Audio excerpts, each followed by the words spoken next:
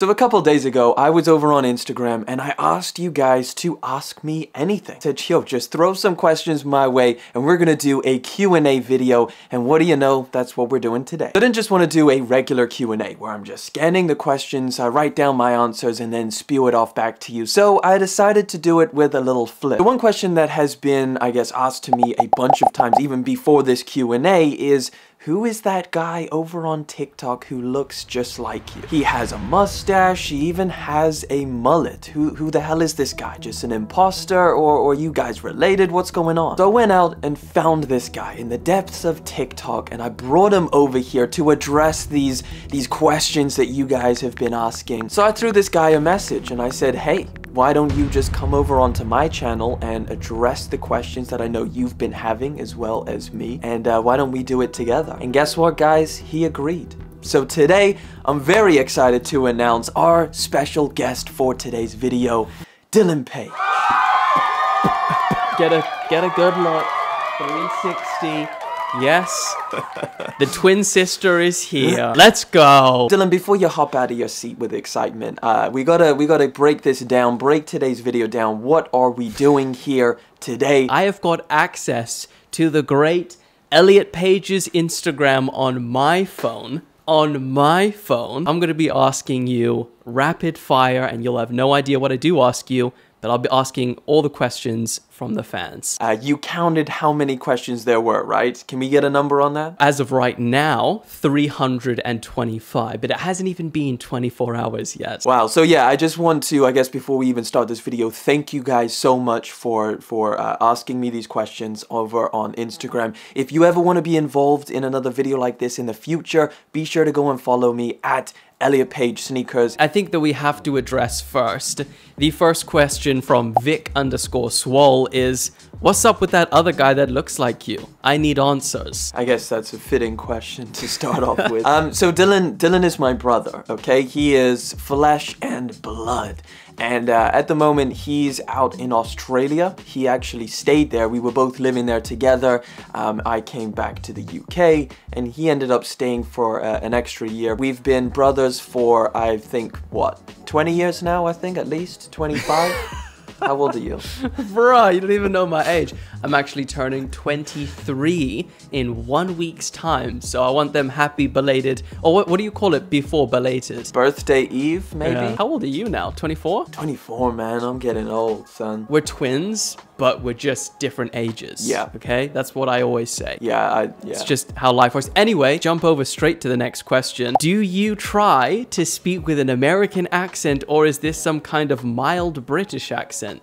Why the Yo. hell do you have an international waters accent, bruh? Asked by Jovsad. That's a really good question because I get that question a lot in like YouTube comments. The strangest thing is that people think I'm putting an American accent on. I mean, I've got like what, maybe 300 videos on my YouTube channel. If I put this accent on, every single video would be ludicrous.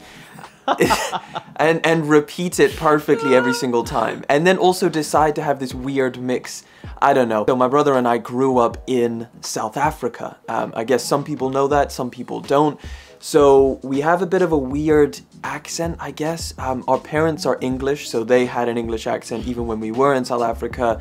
Uh, we both lived in Australia for a year probably picked up a bit of a bit of a fucking twang out in Aussie. But yeah, so it's just a weird mixture of an accent. A lot of our friends were American when we were younger, bizarrely enough, out in South Africa. That, that answers that question. Adam Watt 14 asked your favorite sneaker that you've ever bought and the worst sneaker that you've ever bought.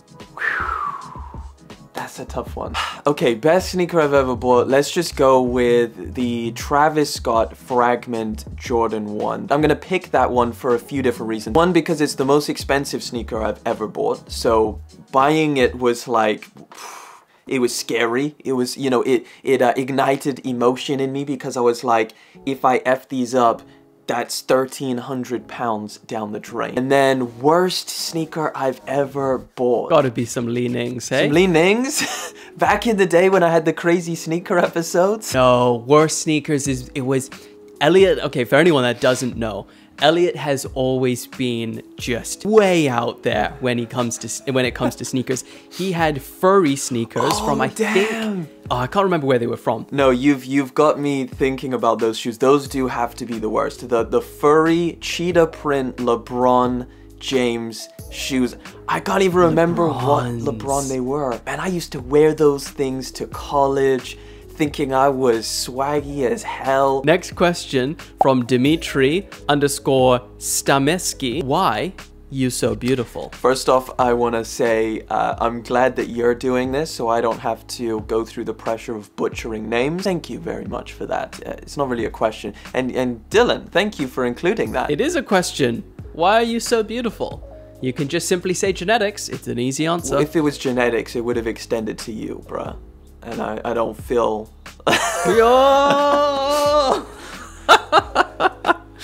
Oh, well, at least you got a good joke out of that one. I bet you feel good about yourself. okay, let's keep it Damn. moving. Cody Cross Sucks says, I feel like New Balance took over 2021. So for you, which brand do you think that's gonna is gonna take over 2022? First of all, I would agree with the New Balance statement. They killed it last year. Um, this year, I actually think they're going to have another insane year with a bunch more collaborations. The 550 is already one of the most popular shoes right now. Everybody wants it. New Balance 2022, I'm gonna say it now. They're gonna have some banger collaborations. They're gonna be big. Well, the next question. Ultralight29 says, What did you do before you started creating content? So actually, I told you guys that I um, I quit my job and, and started full-time YouTube. I'm a, I'm a YouTuber now, I guess. Before this, I was a personal trainer and I had been a personal trainer for probably about six years. No one even knows that you have gains because you always wear bloody like loose tops like this. Yeah. So I remember when you told me that you put a story on and you were in the gym and everyone was like, Yeah, "What they- the hell? This guy's actually swole." Yeah. Jeez. Yeah, because I'm always wearing like oversized t-shirt. When I was a personal trainer, like your physique is such an overbearingly large portion of your identity to some extent. Like you're that guy, you're the the trainer. You gotta have muscles. You gotta be on show all the time. So doing YouTube and having this channel was kind of like a way for me to, I guess, be something a little bit more where I don't, you know, my body is not necessarily my full identity. I can let my personality be a little bit more of a forefront in, um, I guess, my who I am. So that was really nice for me. So I didn't really kind of want to put my body on show, and that's still something I, I really enjoy. Coming away from personal training is just being, yo, I want to be a regular dude. Brandon Mayita, one celebrity you would want to meet meet sometime. What do you reckon? Just one. Uh, Kanye. You got to be careful you don't spaz out at you and be like, "Don't take pictures or autographs." Yeah, if he's just gonna be like, yo, I ain't got the time, then I'd probably pick like Elon Musk or something like that. Okay, now next question. This is a good one. I like this. Prince Bargan said, "If sneakers never existed, what would be the content of your YouTube channel from Philippines?" I love that. I think it would still be product based, like unboxing videos, or it would probably still be reviews. It's like probably one of the first things I watched on YouTube. Well, that's a this is a perfect segue. So CLA underscore 0699 asks, or they first say, Hi, really like your videos, and then they ask, Who is the person that inspires you the most? Dylan, you would have to be my biggest inspiration, just generally. Like, if I need. Don't laugh, bitch. I'm giving you a compliment. okay, well, I regret saying that. But either way, I'm going to carry on now. No, it's already that was out a of good my laugh. mouth. That was a nice laugh. Okay. It wasn't supposed to be a bad one. Well, thank you. yeah, I- You're I- my inspiration too. Yeah, exactly. Yeah, for sure. Like, if I ever need any like help with like, yo, I need a video idea, I just chop it up with you, and I'll just come up with more creative ideas. All right, next question. Andrew E. Bailey says, How the hell are you able to purchase all of these sneakers? You want to tell us your secrets? I'm sure you've got some, you know, brown paper bag under the table kind of deals. What the hell is a brown paper bag deal, dog? I want to make the best videos that I possibly can. So what that means is you know, reinvesting any money that I make from YouTube back into the content that I make. So yes, I do have to buy a lot of stuff. Um, yes, I do choose to make a lot of unboxing videos, which means I need to buy a lot of shoes just for one video. But I think that's like one of my favorite aspects of it is like unboxing it and just seeing what this shoe is like even you know if I don't want to like fully do a review on it at least we get to experience this product that maybe someone else really likes and they want to see um, my thoughts or they just want to see it on camera. Now how do I afford it is, is just I mean YouTube pays me obviously I don't keep every single shoe. Um, some I have to just, I mean, I have a million shoes if I kept every single one. Obviously some I just return if I don't like it.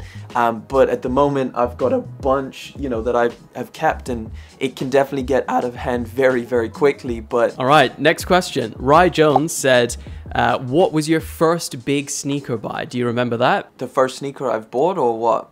First sneakers that you can probably because I mean like when you're young you're buying sandals and flip-flops and your parents buying it for you so the first one that you remember buying that's big uh or Air Force One High Midnight Navy yeah. there we go that's the one get a picture up of something like that too so they can see it Francesco and I can't even read the second name. I would like to know why you are so underrated on YouTube. You are fire, man. Ah, I don't know. I think that it's intended more like your your quality of your videos are up there with anyone who is in the, you know, 800, 900, 1 million range. I think that's that's kind of it. You know, well, that's pretty. That's a big statement, bruh.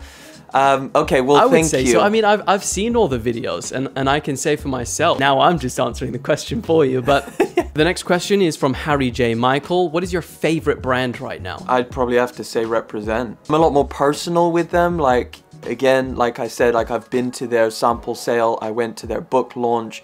I've spoke to the owners. Uh, I watched their documentary. Like they're very transparent about what they do and who they are, and so it's very easy to just really like what they're doing. So I'd have to say represent. I wear a lot of their stuff. I think it's great quality, looks super dope. Next question, T underscore ho said, favorite mu mu music artist?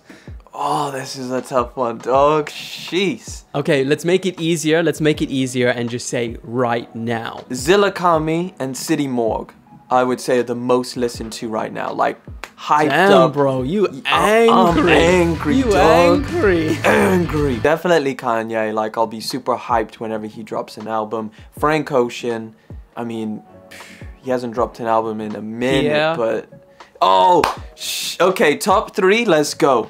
Frank Ocean, Kanye West, Pi'erre Bourne. Right now, last question, and this is the probably the biggest one. Daniel Walters, 27, asks 2022 goals. Let's wrap it up with that. One of them, since we've kind of spoke about it, is our channel. Dylan and I starting a channel together, which um, you know we want to do this year. We want to make it just me and him chopping it up about different things. We were thinking like reaction, but then we started, you know, realizing how savage copyright is on YouTube.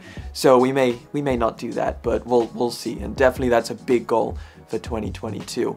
Um, also, just doing more different things on this channel. I want to do more vlogs, so that's a big thing. Uh, I'm going to see if there's any sneaker events or sneaker con things, sneaker cons in the UK that I can go and do this year, and that's going to be another goal. Uh, but just trying to change up the stuff, you know, make it as interesting as possible and Again, another goal is bring the best content I possibly can over here to the channel. Decent, bro. De I mean, I'm, I'm just looking around because as you could probably just see, flying around here is about 50,000 bugs. I've got all the lights on and my window open and I'm looking around the room and just darted on oh, oh my god. I'm gonna have to wrap this up, brother. Again, a massive thank you guys so much for asking and being involved. If, if we asked your question, thank you so much for being involved in this. If you ever want to be involved in anything like this in the future, again, go and follow me over on Instagram. And while we're doing this, we might as well plug you, Dylan. So go ahead, chuck your stuff on the screen. But where are you it's at, just bro? straight up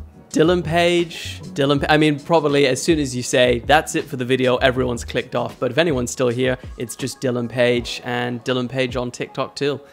That's it. So, thank you guys so much for coming through. Thank you for hanging out with the both of us for today's video. Thank you for liking, commenting, and of course subscribing. I'll catch you guys in the next one. But until then.